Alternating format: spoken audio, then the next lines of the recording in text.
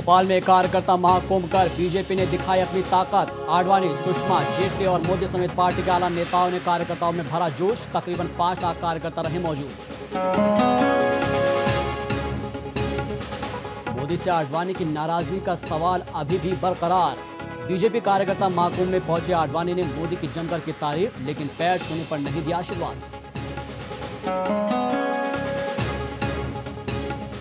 महाकुंभ के मंच से मुख्यमंत्री शिवराज सिंह चौहान ने जन आशीर्वाद के लिए जनता को दिया धन्यवाद। प्रदेश में तीसरी बार भी बीजेपी की सरकार बनाने का दावा कर गिनाए कांग्रेस के घोटाले। शिव के महाकुंभ में मोदी का संबोधन, शिवराज सरकार की तारीफों के बांधे पुल, कहा प्रदेश सभी दिशाओं में कर रहा है विकास। प्रदेश की राह में परेशानियों के पीछे केंद्र सरकार को बताया जिम्मेदार। चुनावों से पहले केंद्रीय कर्मचारियों की बल्ले बल्ले। प्रधानमंत्री ने सातवें वेतन आयोग के गठन को दी मंजूरी, तकरीबन 80 लाख कर्मचारियों को मिलेगा फ़ायदा।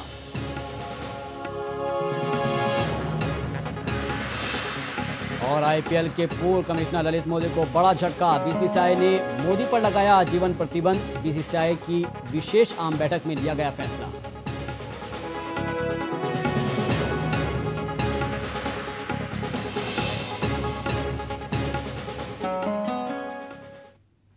नमस्कार, आप देख रहे हैं खबर भारती। आपके साथ मैं हूँ शाहबाज। बुलेटिन की शुरुआत करते हैं बीजेपी के कार्यकर्ता महाकुंभ के साथ।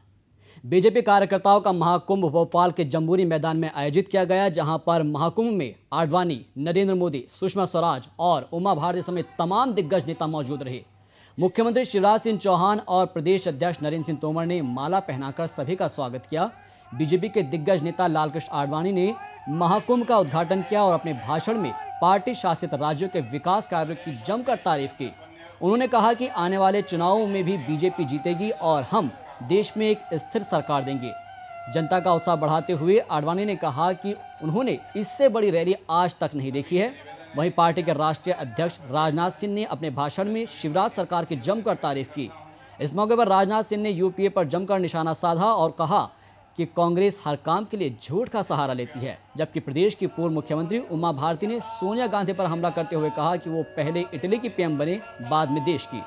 हालाँकि शिवराज सिंह चौहान की तारीफ़ करते हुए उमा भारती ने मोदी को भारत भाग्य विधाता बताया, जबकि मुख्यमंत्री शिवराज सिंह चौहान ने अपनी सरकार की उपलब्धियाँ गिनाते हुए केंद्र पर निशाना साधा। वहीं बीजेपी के PM in waiting Narendra Modi ने 2015 में केंद्र में बीजेपी की सरकार बनाने का दावा किया है। उन्होंने आडवाणी को मार्गदर्शक बताते हुए खुद को पार्टी का छोटा नेता बताया। तो नरेंद्र मोदी ने पंडित दीनदयाल उपाध्याय के संकल्प को दोहराने की बात कही, साथ ही साथ उन्होंने आडवाणी की भी तारीफ़ की। उसके अलावा शिवराज सिंह चौहान की तारीफ़ करना भी नहीं भूले, जहाँ पर शिवराज सिंह चौहान के बारे में उन्होंने कहा कि गरीबों के कल्याण का काम किया है शिवराज सरकार ने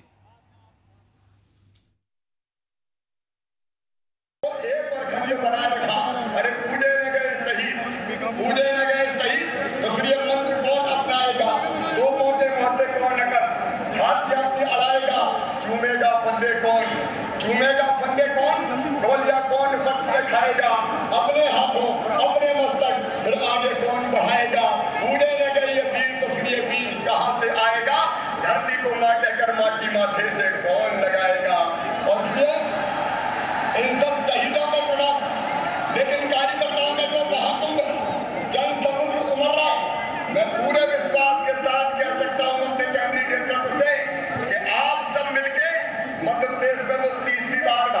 जनता पार्टी की सरकार बनाएँगे ही हैट्रिक लगाएँगे ही बोलिए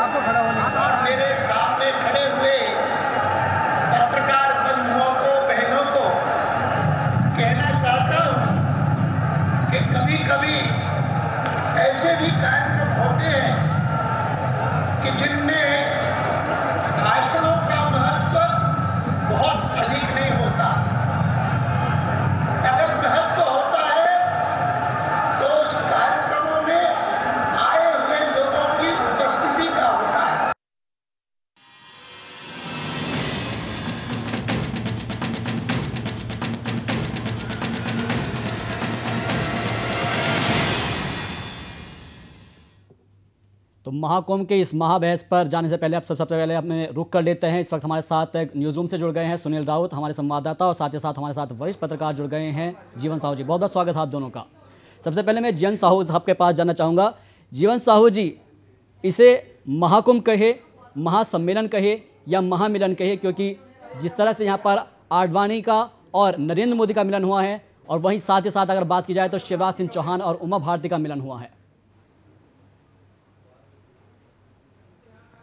नहीं ये एक तरह से ये महासम्मेलन ही है।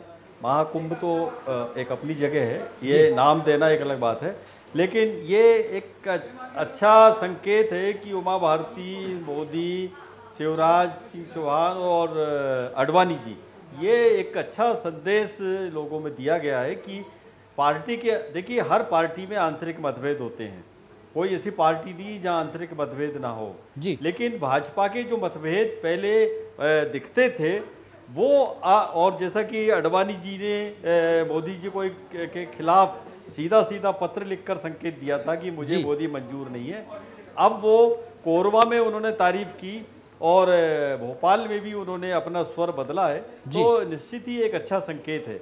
लेकिन इस तरह के सम्मेलन या महाकुंभ से इसका मतलब ये कतई नहीं लगना चाहिए कि कोई मोदी जी प्रधानमंत्री बन जाएँगे। बिल्कुल। मोदी जी को प्रधानमंत्री बनने के लिए दो सौ चौहत्तर सीटें बिल्कुल दो सौ चौहत्तर का आंकड़ा पार करना होता है। आप हमारे साथ बने इस वक्त हमारे साथ कांग्रेस नेता कल्पना पारुलेकर जी जुड़ गई हैं। बहुत बहुत स्वागत है आपका कल्पना जी।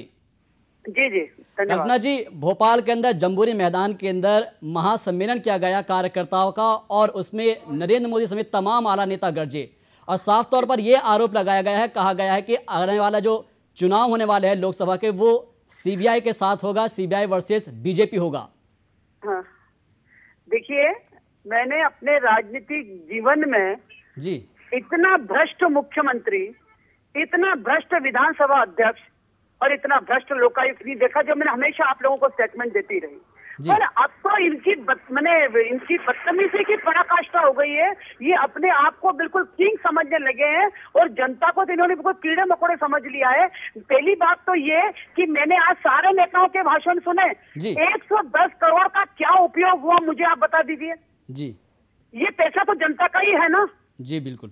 और दूसरी बात ये कि इससे तो साथ आज आप देखिए अभी मैं मैंने नाम नहीं सुना कि मेरे पहले कौन बोल रहे थे। जिन्होंने ये कहा कि अडवाणी जी उमा भारती जी सब मंच पे दिखे। अडवाणी जी का क्या क्या वजूद रहा? कितना बुरी तरह से उस राष्ट्रीय नेता का अपमान हुआ? एक बार नहीं दो बार हुआ। और जब दूसरी बार उसका अपमान हुआ तो सीधा साधा मैसेज पूरा हिंदुस्तान के अंदर गया कि आरएसएस जो चाहेगी वो होगा। और अडवाणी जी आते हैं तो ठीक है नहीं तो बैठ जाइए घर पे। ये सीधा सीधा मैसेज गया क्या जनता को इन्होंने बेवकूफ़ समझ रखा इसका मतलब पूरे हिंदुस्तान को ये कट्टरपंथी की तरफ़ ले जाना चाह रहे हैं। तो क्या इसका आप सोचते हैं कि ये सर्व सर्व जाति का जो ये हिंदुस्तान है अनेकता में एकता वाला जो हिंदुस्तान है क्या उसके ऊपर ऐसी मीटिंगों का असर पड़ेगा? मेरे हिसाब से निगेटिव असर पड़ेगा। आज आपका एक एक बात मैं आपके ध्यान में लाना चाहूँगी कि आज भोपाल के अंदर इतनी हज़ार गाड़ियाँ थी इतना चार लाख पाँच लाख था उसके अंदर बिल्कुल। तो दो सौ मुसलमानों ने जो एजुटेशन किया जी। क्या वो जिनके ऊपर डंडे बरसाए गए उसमें बुज़ुर्ग लोग भी थे। बिल्कुल। तो पहली बात तो कोई मार खाने नहीं जाएगा। चार लाख की भीड़ में और जितने जगह पंद्रह हज़ार जो पुलिस आई थी उसके बीच में। और उसके बाद उन लोगों ने काले झंडे बताए तो आप नहीं सोचते कि एक कम्युनिटी के मन में कितना भयंकर रोष है? बिल्कुल भयंकर रोष है। कल्पना जी इस वक्त हमारे साथ हमारे संवाददाता सुनील रावत जी जुड़े हुए हैं। वो आपसे एक सवाल पूछना चाहेंगे। सुनील अपना सवाल पूछेगा जी कल्पना जी एक अभूतपूर्व एक सम्मेलन था। राजनीतिक इतिहास में पहली बार बीजेपी ने इतना बड़ा सम्मेलन किया। पहली प्रतिक्रिया इस सम्मेलन पे आप जाना, जाननी चाहेंगे आपकी। मध्य प्रदेश में ज्योतिरादित्य के नेतृत्व में आप एक, एकजुट हुए थे, एक ताकत दिखानी शुरू की थी। इतने बड़े सम्मेलन के बाद कहीं डर डर गए हैं आप लोग? आपने इतना बढ़िया क्वेश्चन करा है। एक बात करिए कि अभी हमारी पानी सारे पूरे मध्य प्रदेश में पानी हो रहा है। हमारी सोयाबीन गल गई है पानी में डूबी हुई है। किसान बेचारा चुपचाप बैठा हुआ है। अब उसको आप दाल भात में खिलाओगे पुलाव खिलाओगे पूरी सब्ज़ी खिलाओगे और गाड़ियों से उसको निःशुल्क लेके भोपाल आओगे तो कौन नहीं आएगा? कौन नरेंद्र मोदी को देखना नहीं चाहेगा नहीं लेकिन दो लाख किसान भी पहुँचे थे इसमें कल्पना जी। मालिनी के नाम से भी इतनी भीड़ करते तो आज आपकी एक मायने रखता है एक सौ दस करोड़ रुपया एक काम करिए आप आप तो इसमें से आधा पैसा मुझे दे दीजिए पचास करोड़ अगर इससे दुगनी भीड़ लाकर मैं बता दूँ तो कल का नाम छोड़ देना। नहीं आप विपक्ष में आप आरोप तो लगाएँगी कल्पना जी आप विपक्ष में आपका काम है लेकिन मैं तो यथार्थ पर जीतने को ट्रेड। लेकिन जो मध्य प्रदेश की फिजा आज बता रही थी जो मध्य प्रदेश का माहौल आज जो बता रहा है वो कांग्रेस के लिए सही में डराने वाला है। ये मानना पड़ेगा आपको। बिल्कुल एक सिंगल प्रतिशत भी नहीं। लेकिन हमारा जिस तरह से बीजेपी ये कहती है कि आपकी रैलियाँ जो हो रही है सत्ता परिवर्तन रैली इसके पहले आपने परिवर्तन रैली की फिर आप सत्ता परिवर्तन रैली कर रही। आप तो पाँच हज़ार से ज़्यादा लोग भी नहीं जुटा पा रहे बीजेपी का आरोप है। हमारे इसमें जो लोग आ रहे हैं वो स्वेच्छा से आ रहे हैं। और आप ये बात कर, मैं आपको आपने बहुत बढ़िया क्वेश्चन पूछा। आपने देखा नहीं अभी जो मुख्यमंत्री का जो रोड शो हुआ था उसके अंदर उज्जैन के टीआई को मारा। मऊ के टीआई को मारा? अरे जो थाने इनके कब्जे में काम नहीं करते हैं उनके टीआई तक खींचे जाते हैं। तो बताइए मध्य प्रदेश का भविष्य क्या होगा? यानी कल्पना जी आप साफ़ तौर पर कह रहे कि जो भीड़ जुटाई गई है जो भीड़ जुटाई गई वो पैसे देकर जुटाई गई है। अरे भीड़ आप भीड़ की बात कर रहे हैं। मैंने आपको बोल तो दिया पचास करोड़ आप मुझे दे दीजिए इससे दुगनी भीड़ ले आऊँगी। फ़र्क क्या पड़ता है? जी। कल्पना जी साथ ही साथ यहाँ पर ये भी कांग्रेस के ऊपर आरोप लग रहा है कि जब तक कांग्रेस की सरकार रही है मध्य प्रदेश के अंदर तो कांग्रेस ने मध्य प्रदेश को यहाँ पर बीमारू प्रदेश बना दिया था और अब यहाँ पर जब से बीजेपी आई तो कांग्रेस बीजेपी की तरफ़ से विकास हुआ है मध्य प्रदेश में। कौन सा विकास हुआ? निवेश के नाम से औद्योगिक निवेश के नाम से अनाप शनाप पैसा खर्च किया कहाँ निवेश लगा मुझे बताइए आप। बलात्कार में नंबर वन आपके करप्शन में नंबर वन भ्रष्टाचार अरे सबसे बड़ा उदाहरण तो मैं आपको ये दूँगी। कि सामान्य प्रशासन के अंदर लोकायुक्त आता है और लोकायुक्त का गठन विधानसभा से होता है। और लोकायुक्त कितने इससे कह रहे हैं? लेकिन कल्पना जी कल्पना जी दो बार से जो जनता है प्रदेश की वो बीजेपी को ही चुन रही है। इस बार भी जो सर्वे में लहर आ रही है वो बीजेपी के पक्ष में आ रही है। इसकी वजह क्या मानती है आप? क्या कांग्रेस तो कहाँ पिछड़ रही है? अगर सरकार भ्रष्ट भ्रष्ट है आप मान रही है लोकायुक्त भ्रष्ट है सुशासन नहीं है। जी। की लहर है। मुझे तो कोई लहर नज़र नहीं आती बल्कि आप उल्टा कहिए कि क्या सिंधिया जी का चेहरा देखने के बाद शिवराज का चोपटा उतर गया है। नहीं नहीं हम मानते हैं सिंधिया जी को आपने जब से प्रमोट किया है कांग्रेस एकजुट हुई है कुछ थोड़ी बहुत सीटों का फ़ायदा हो रहा है आपकी पार्टी को थोड़ा लेकिन इतनी लहर नहीं है। सरकार बना रहे हैं सरकार बना रहे हैं कोई दुनिया की ताकत हमें रोक नहीं सकती। क्योंकि कांग्रेस पार्टी गरीबों की पार्टी, जो नीतियाँ बनाई है, वो कांग्रेस ने बनाई है, और हमारे केंद्र के पैसे को बड़ी बेशर्मी से अपने खाते में डालने का काम शिवराज कर रहे हैं। जी, कल्पना जी, आप हमारे साथ इस वक्त बनी रहिए। इस वक्त हमारे साथ अनूप सक्सेना जुड़ गए हैं, भोपाल से हमारे संवाददाता। अनूप, महाकवरेज आप कर रहे थे महाकुंभ की, और तमाम महासम्मेलन के अंदर आपने देखा, नेताओं को सुना। सबसे पहले आपकी प्रतिक्रिया जानना चाहेंगे, कैसा नज़ारा था वहाँ पर, और कैसे कैसे वहाँ पर आप फ़िलहाल जो सियासी समीकरण बनते नज़र आ रहे हैं? देखिए जहाँ तक साबाद मैं आपको बताना चाहता हूँ कि महाकुंभ पूरी तरह से नरेंद्र मोदी और शिवराज सिंह मय हो गया है।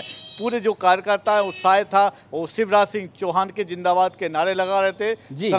संकल्प लिया कि तीसरी बार फिर से मध्य प्रदेश में सरकार बनाएँगे। तो कहीं ना कहीं पूरी तरह से जो जनता आज भोपाल के जमहूरी मैदान पर जुड़ी, पूरे प्रदेश से लगभग चार से पाँच करोड़ की जनता जुड़ी। उनका एक मत था कि भारतीय जनता पार्टी फिर से मध्य प्रदेश में कांग्रेस को पछाड़ते हुए भारतीय जनता पार्टी की सरकार बनाएगी। तो ये कहा जा सकता है, इस महाकुंभ ने भारतीय जनता पार्टी के जो कार्यकर्ता हैं, उनमें उत्साह ला दिया है और कहीं ना कहीं ये ये कांग्रेस के लिए चिंता की बात हो सकती है। जय सहबाज बिल्कुल, कांग्रेस के लिए चिंता की बात हो सकती है। हमारे साथ लगातार जीवन साहू जी जुड़े हैं, उनके पास जाना चाहेंगे। जीवन साहू जी आपने सबको सुना है, यहाँ पर कांग्रेस की तरफ़ से भी कहा जा रहा है कि ये सिर्फ़ महज भीड़ जो जुटाई गई है, वो पैसे देकर जुटाई गई है और कल्पना पारुलेकर भी जुड़ी हमारे साथ, वो कह रही है साफ़ तौर पर कि आप मेरे को पचास करोड़ रुपये दीजिएगा और इतनी भीड़ हमसे ले लीजिएगा? ऐसा है कि कल्पना पारुलकर जी बड़ी फर्राटेदार नेता हैं और बहुत उनका अंदाज बड़ा तीखा है। जी। मैं उनके बारे में कोई टिप्पणी नहीं करना चाहता लेकिन मेरा कहना ये है कि इस तरह का जो मध्य प्रदेश में विकास का जो एक ट्रेंड चला है कांग्रेस क्यों विकास की बात नहीं करती? कांग्रेस क्यों व्यक्तिगत हमला कर रही है? कांग्रेस को चाहिए कि वो सिंधिया जी विकास के क्या मुद्दे अगले चुनाव में रखना चाहेंगे किस तरह से इस प्रदेश के विकास की तस्वीर बनाएँगे ये उनको मुद्दा रखना चाहिए। केवल ये कहने मात्र से काम नहीं चलेगा कि सब लोग भ्रष्ट हैं। तो फिर अगर सभी लोग भ्रष्ट हैं तो अच्छा कौन है ये बता दें। क्या केंद्र के लोग अच्छे हैं कि हम के इसी जो आज जो नेतृत्व है आज ये जो चीज़ है उसी में से आपको अच्छे लोग चुनना पड़ेंगे और ये तय करेगा मतदाता। मतदाता सिंधिया को पसंद करेगा या मतदाता फिर से शिवराज को पसंद करेगा ये मतदाता तय करेगा ना कि कोई दूसरा व्यक्ति तय करेगा। जहाँ तक ये जो महासम्मेलन का सवाल है ये इसमें कोई दो राय नहीं कि शिवराज ने अपने कद को बढ़ाया है और शिवराज की जो स्थिति है वो मैं उनके मंत्रियों की बात नहीं कर रहा हूँ मैं उनके विधायकों बेशक कहीं ना कहीं शिवराज सिंह चौहान का कद बड़ा है और ये सभी जो लोग जानते हैं इसको कोई नकार नहीं सकता इस वक्त फ़िलहाल वक्त तो चला एक छोटा सा ब्रेक का लेकिन ब्रेक पे बाद भी लगातार चर्चा जो है जारी रहेगी।